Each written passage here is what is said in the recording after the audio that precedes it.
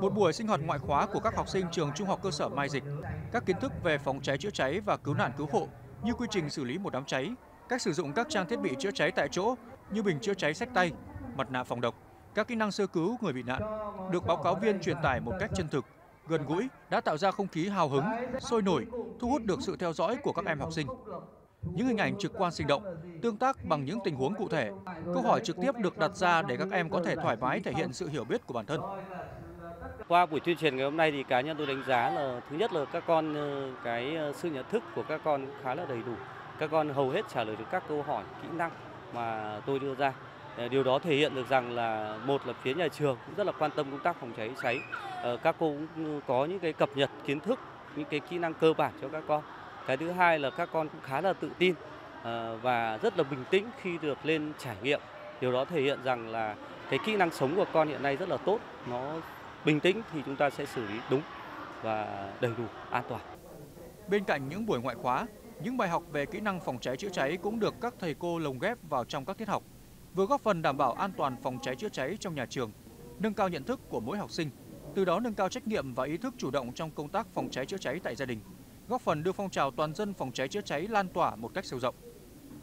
Hôm nay thì con được học về nội dung về phòng cháy chữa cháy và qua đó thì con biết được nguyên nhân cháy là do những cái ờ, hành động rất là bình thường. Ví dụ như là chúng ta có thể đùa nghịch, nghịch lửa hay là do bóng bay có thể xảy ra những cái vụ cháy rất là nguy hiểm và 70% do các vụ cháy tại Hà Nội xảy ra là do chập điện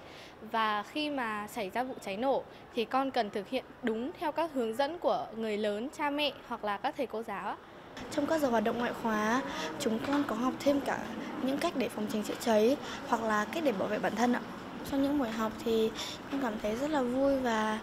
bổ ích vì nó giúp cho con hiểu có thêm nhiều hiểu biết ạ. Ở trường cũng như ở gia đình thì các con cũng phải nhận biết được rằng là những cái nguồn nhiệt nào mà nó có khả năng gây ra cháy với lứa tuổi các con để từ đó các con có những cái biện pháp đôi khi rất là đơn giản như dùng các cái thiết bị điện xong các con phải biết là rút nó ra hoặc là cái kỹ năng là khi phát hiện ra cháy thì các con phải bình tĩnh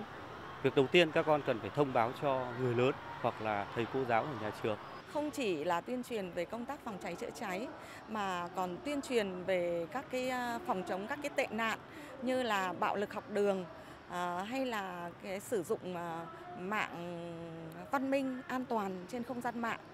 và các, rất nhiều các cái chuyên đề chúng tôi thường xuyên là tổ chức vào các cái ừ, ngoài giờ lên lớp hoặc là các cái ờ, hoạt động ờ, ngoài giờ chính khóa. Học sinh nhà trường thì ờ, rất là háo hức tham gia và các con cũng rất là tích cực việc là trả lời những cái câu hỏi của các giảng viên. Mặc dù việc xảy ra cháy nổ trong các cơ sở trường học ít hơn nhiều so với tỷ lệ cháy nổ tại các hộ dân và cơ sở sản xuất kinh doanh, thế nhưng nguy cơ thì có thể xảy ra bất cứ lúc nào.